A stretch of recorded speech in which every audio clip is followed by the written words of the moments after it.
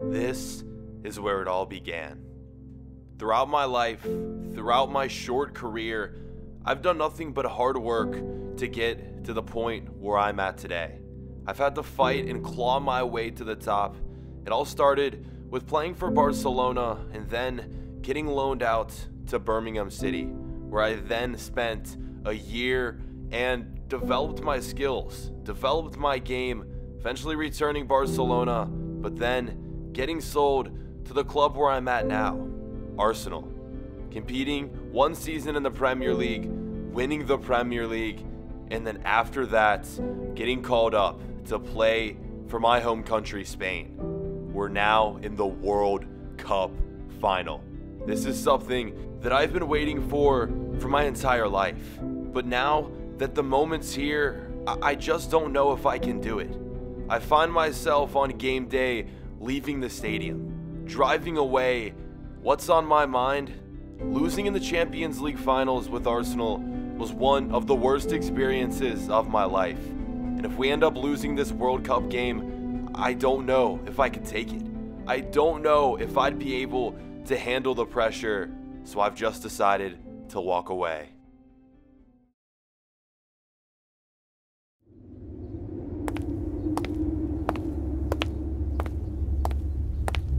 Rumors swirling about that Alex Roberto will not be starting Alex in the World Roberto Cup has final. not showed up to the dressing room. He will not be competing Where in is this Alex? final. That is the question everyone wants to know. Spain Where stand is no Alex chance Roberto? against France without Alex Roberto. It's he over. will You not might as be well starting give France the this final. championship. No Alex Roberto. Spain stand no chance.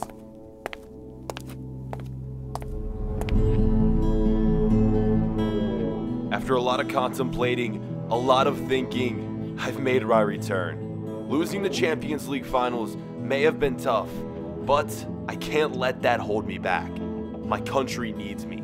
My teammates need me. The fans need me. I must compete in this final. Nothing can stop me. Nothing can hold me back. We have to beat France. It's the only option. Final is here. It's Spain against France, the 2018 World Cup here in Russia. Moments away, I'm back. I'm in the starting 11. The game is ready to begin. Ladies and gentlemen, let's go.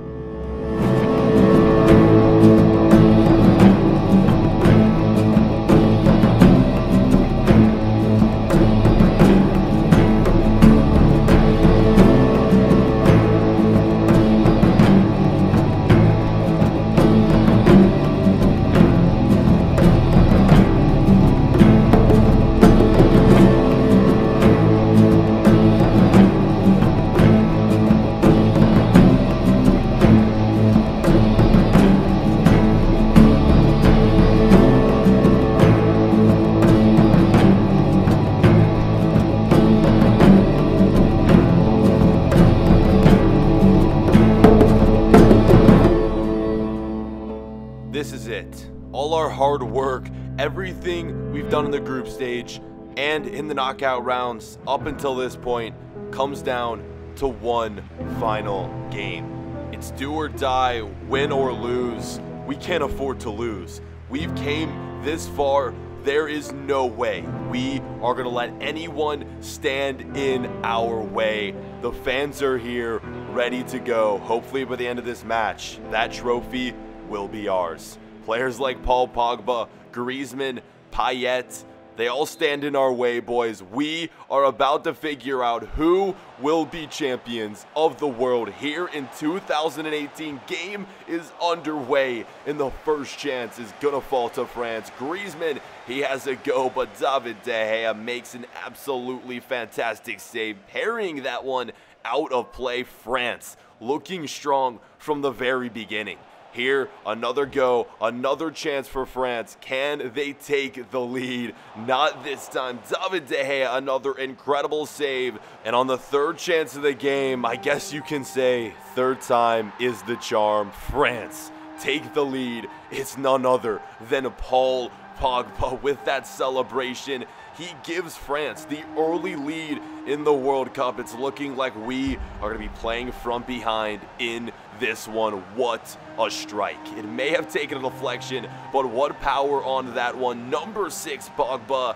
He breaks this thing wide open. 1 0 is the score line. It's looking like we're going to need a comeback if we want to win this one. Straight after we finally got our heads together, we started to put some chances together, but once again, France were dominating. Another go at goal for them. Pogba nearly makes it 2-0. Had he did that, the game would have been all but over. Another great chance right here, but the ball falls straight to Hugo Lloris. We're getting few opportunities, and the opportunities we're getting aren't good.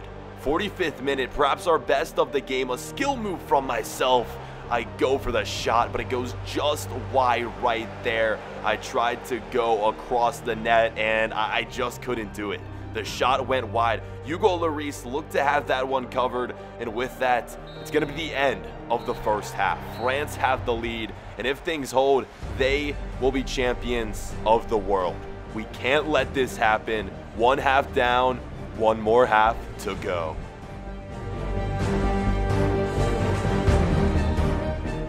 And as we go straight into the second half, 45 minutes remain. We'd have the first chance of this half. I give the ball off to our striker, Diego Costa. He goes for goal, but once again, Hugo Lloris making another big time save for France. Even more chances for them. If they go ahead 2-0, like I said, the game will be all but over. Morgan Schneiderlin has a go, but what a block from one of our defenders. Another chance from the ensuing corner. The shot from the head of Laporte goes just wide. 68th minutes. What a chance it was, but what a miss. After this, another opportunity for us. I get a great through ball played in. Will this be the equalizer?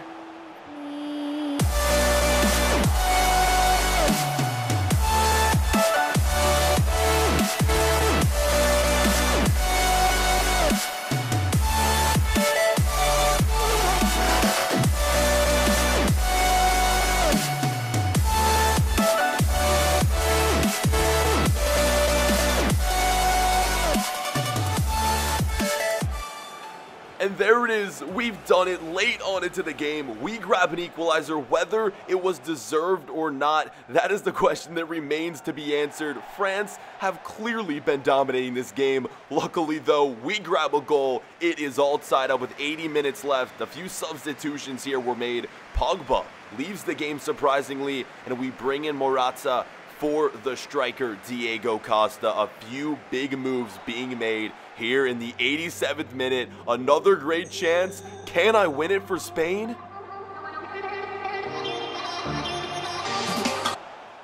No, no, I can't. I looked to be through on a goal and I missed the opportunity. 1v1 with Hugo Lloris. I tried the finesse shot. That was my chance to become a hero for my country and I wasted it. We're going into extra time. This isn't what I hoped. This looks to be a repeat of the Champions League final. Last time in the Champions League final, of course, we went into extra time. We finished level there. We went into penalties, and we lost. If the same happens here, I'll be devastated. Here we go. Straight into extra time. We need a goal. We'll settle for nothing less than that. And starting off this period in extra time, we would have the first chance in the 102nd minute. We look to be through on a goal, but right here, a terrible pass from my teammate. He gives it up and the ball is cleared away for France. A chance for them to go on, grab the lead here in extra time, but they waste the chance as well. Finally, a few minutes later in the second half of extra time, the ball falls to me. This is it.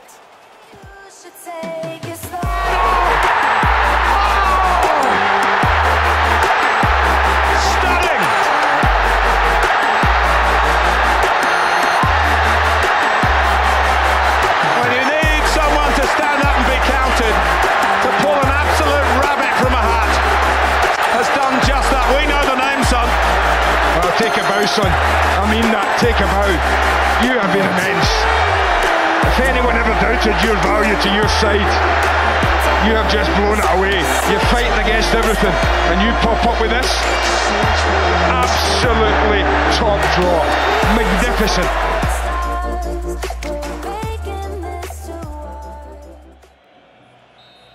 I did it.